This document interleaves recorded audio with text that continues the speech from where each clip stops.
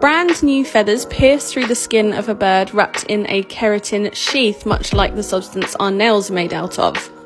Birds preen this sheath away on their body, however, they can't reach their heads, so they usually rely on a partner or parent to crumble away the keratin sheath from those feathers.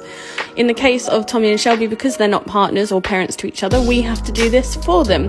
When the feathers aren't ready, you can usually tell because they're very dark in colour, which means they're filled with blood and it can be painful to break those ones.